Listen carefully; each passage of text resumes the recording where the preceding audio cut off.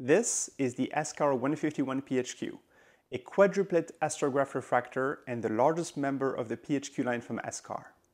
It features a 151mm or 6-inch aperture and a 1050mm focal length for a native f7 focal ratio. In this video, I'll be doing an unboxing of this beautiful new telescope and I will share my first impressions. In a subsequent video, I will share the results of a series of optical tests I am conducting right now on this telescope and its focal reducer, so if you don't want to miss it, make sure to subscribe to the channel. All right, let's get started.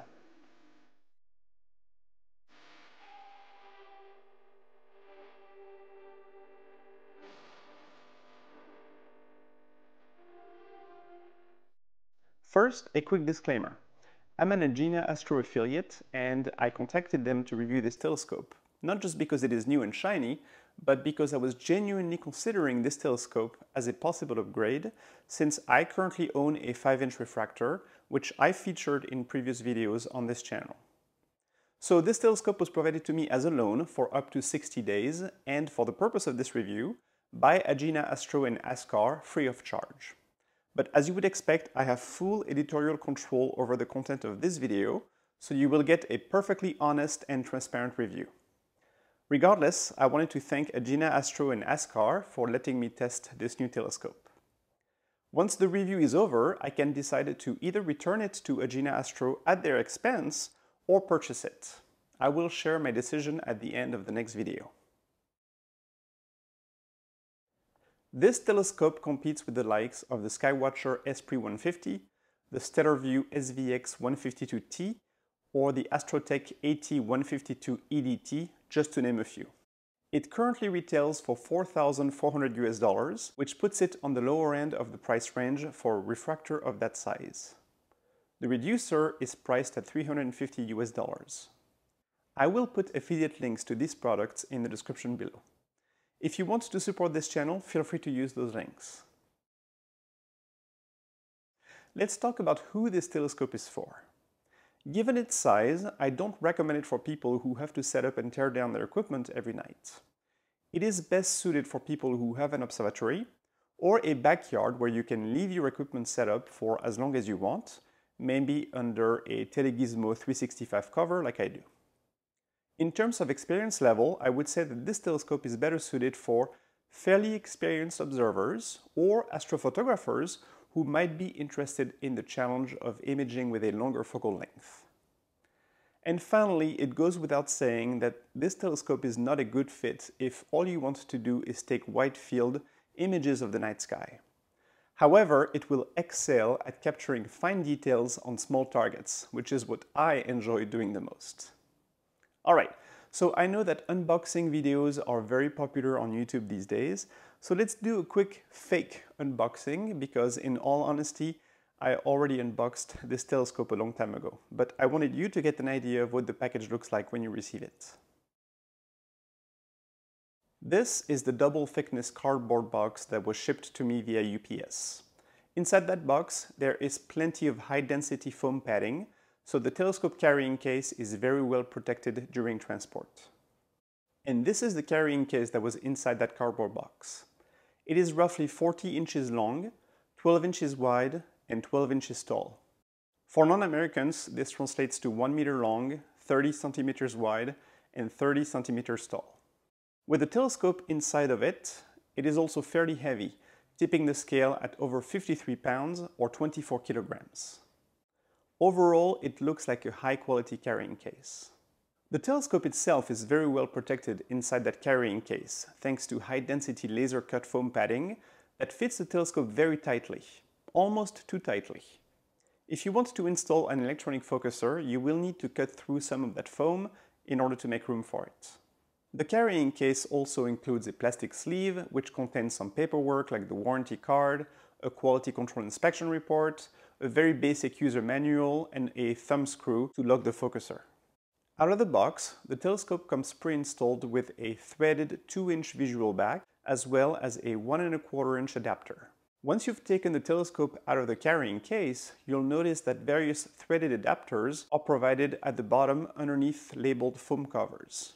These adapters are for astrophotography. you'll have the choice between many different threaded connections, M86, M68, M54, or M48.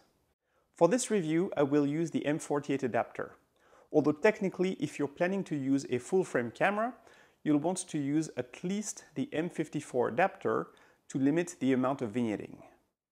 Note that the M48 adapter allows you to thread a 2-inch filter.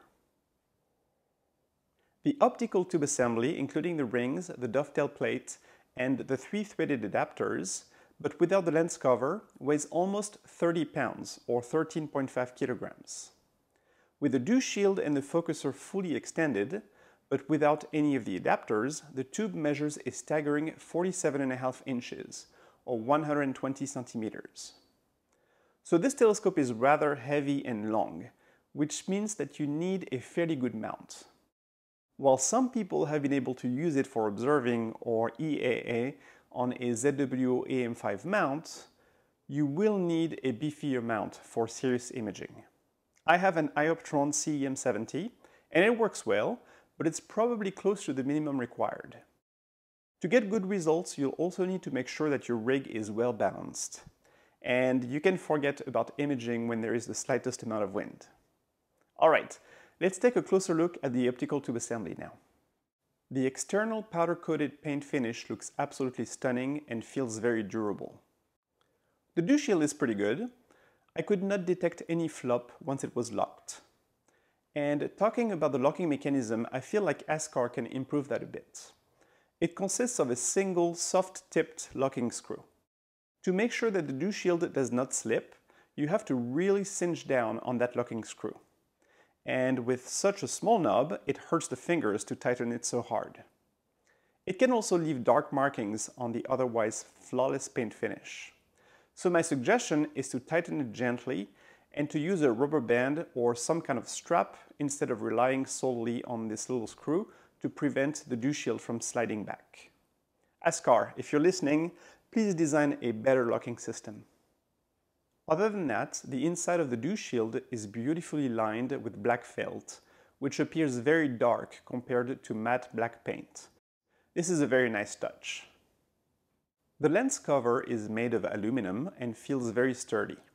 The inside rim of the cover is lined with felt and it just slips on top of the dew shield and stays in place. The objective lens is absolutely enormous. The coatings look great. Actually, the first time I took the lens cover off, it took me a few seconds to notice the objective lens. That's how good the coatings are. The optics came perfectly clean from the factory. I assume that Askar assembled all of their telescopes in a clean factory where dust is very strictly managed. The inside of the tube is painted in matte black paint and contains a large number of baffles that will prevent unwanted light from reaching the eyepiece or the camera sensor. Let's take a look at the focuser now. It is a massive 3.4 inch rack and pinion style two-speed focuser and it can be extended out a little over 4 inches or 10 centimeters. The draw tube has fine distance markings every millimeter, which can be useful. It also comes fitted with a quality 360 degree rotator that locks securely in place without incurring any detectable image shift. It features fine rotation markings for every degree. When I first took the telescope out of the box, I noticed that I was able to move the focuser draw tube by hand. However, by simply tightening a small set screw located underneath the focuser, I was able to tweak the amount of tension to my liking, so that the focuser was still very smooth and easy to operate, but would not slip under load, which is important if you are not planning to use an electronic focuser. Since this telescope is not mine, I did not install an electronic focuser. But if I eventually decided to purchase it, I would install the ZWO EAF, which is very easy to fit to this focuser. The telescope comes equipped with a short Vixen-style dovetail shoe to attach small accessories like an ASI Air, for example. The rings are beautifully machined out of aluminum and are powder-coated black. On the inside, they are lined with felt. And on the outside, they have several flat surfaces and holes with M6 threads to make it easy to attach accessories, such as a guide scope, a USB hub, or a mini computer. The telescope also comes with a pre-installed carrying handle. I was originally planning to replace it with a D-style dovetail plate to attach accessories. But now I think that unless you install this telescope in an observatory, you will want to keep this handle. The tube is so heavy that having this handle makes it a lot easier and safer to manage. And finally, as part of the package, you'll also get a really nice 300mm long D-style dovetail plate. And I have a really important pro tip to share with you regarding the dovetail plate. Can you see these two little holes right here on the underside of the dovetail plate? They have M3 threads. My recommendation is to put in two short M3 screws in those holes. The screw heads will act as a stop, preventing the telescope from sliding back if somehow the dovetail were to work itself loose, for example as a result of a temperature change. If you read the forums, you'll see that this has happened to some people. So this is a very cheap insurance policy against what could be an utter disaster.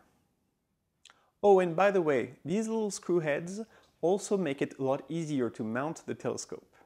You simply drop the dovetail plate into the dovetail saddle, let it slide back until it stops, and then you can take your time to tighten the saddle.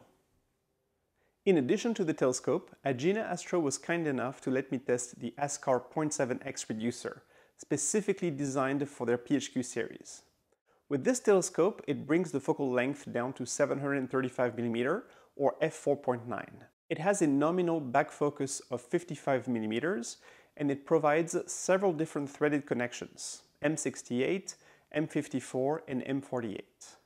This reducer is quite large and heavy and overall it feels like a high quality piece of kit. Let's talk about the optical design of this telescope. It is what we call a Petzval design, even though it has very little in common with any of the optical designs created by Hungarian optician Joseph Petzval in the middle of the 19th century. What the term Petzval means nowadays is that the optical system is composed of two separate lens groups. In practical terms, whenever you see the term Petzval associated with a telescope, think of it as having a built-in flattener that does not have a specific backspacing requirement. The objective lens of this telescope is made of four elements, two of which are supposed to be some kind of ED glass. And the optical design is supposed to provide a perfectly flat field of view without the need for an additional flattener, even when using a full-frame camera. Of course, in the next video we will verify this claim, and we'll try to understand what kind of compromises Askar had to make in order to achieve this, because at the end of the day, any optical design is simply the result of a compromise. Here are some of the tests I will be running. First, we'll check the collimation using a Cheshire eyepiece during the daytime. Next, we'll quantify the amount of longitudinal chromatic aberration using my spectrograph in its low-resolution configuration and a Python script I created. We'll compare it to my Astrotech AT130 EDT triplet refractor. We'll also do a wavefront analysis using extrafocal images and some special software to estimate the Strehl ratio as well as the PV and RMS values. We'll use a full-frame color camera, both at the native f7 focal ratio and using the Askar reducer at f4.9, and we'll do some pixel peeping in the corners.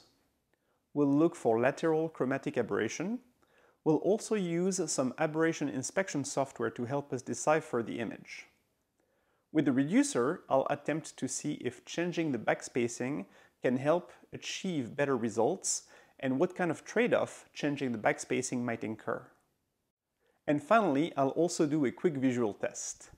Before becoming an astrophotographer, I was a pure visual observer for 25 years, and I am curious to see how this telescope will perform visually, using my high-quality Televue Nagler eyepieces. A question you might ask is who in their right mind would want to purchase this kind of telescope as opposed to buying a much cheaper and lighter reflecting telescope like a Newtonian for example? Well, there is no simple answer and I can only talk about my own situation.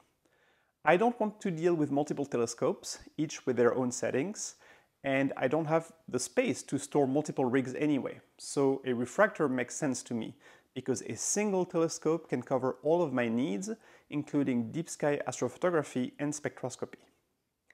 I also do not want to deal with collimation. I want a telescope that just works. So again, a refractor is pretty much perfect for that. And I want a large refractor because I most enjoy doing high resolution deep sky astrophotography on small targets, which requires a longer focal length. And finally, there is the lure of the refractor. You just have to look at the moon through a high quality refractor with a quality eyepiece to understand what I mean. I don't think I can describe with words how enjoyable the views can be through a high quality refractor. It is something that you have to experience for yourself. All right, that's all I have for you today. If you enjoy this type of content, please click like and don't forget to subscribe to the channel. I'll be back in a few weeks for part two of this review. So until next time, thank you for watching.